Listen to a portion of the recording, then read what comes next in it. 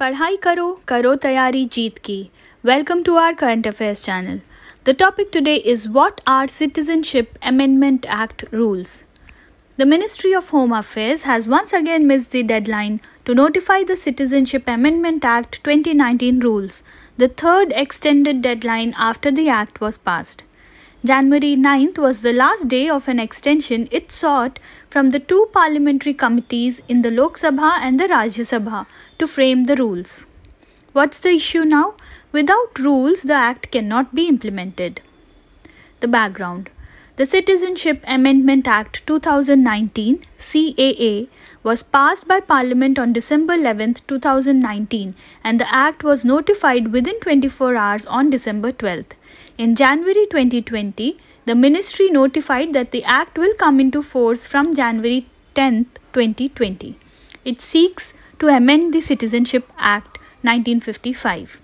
The Citizenship Act 1955 provides various ways in which citizenship may be acquired. It provides for citizenship by birth, descent, registration, naturalization, and by incorporation of the territory into India. About CAA The objective of CAA is to grant Indian citizenship to persecuted minorities Hindu, Sikh, Jain, Buddhist, Parsi, and Christian from Pakistan, Bangladesh, and Afghanistan. Those from these communities who had come to India till December 31, 2014, facing religious persecution in their respective countries, will not be treated as illegal immigrants but given Indian citizenship. The Act provides that the central government may cancel the registration of OCIs on certain grounds. Exceptions the Act does not apply to tribal areas of Tripura, Mizoram, Assam, and Meghalaya because of being included in the sixth schedule of the Constitution. Also, areas that fall under the inner limit notified under the Bengal Eastern Frontier Regulation 1873 will also be outside the Act's purview. Issues surrounding the law. It violates the basic tenets of the Constitution. Illegal immigrants are distinguished on the basis of religion.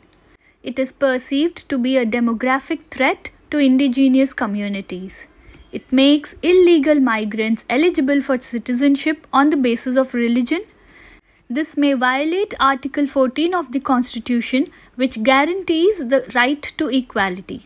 It attempts to naturalize the citizenship of illegal immigrants in the region. It allows cancellation of OCI registration for violation of any law. This is a wide ground that may cover a range of violations, including minor offences. That's all on this topic for today. Stay tuned for regular updates and don't forget to like, share, and subscribe our channel. Padhai karo, karo tayari jeet ki.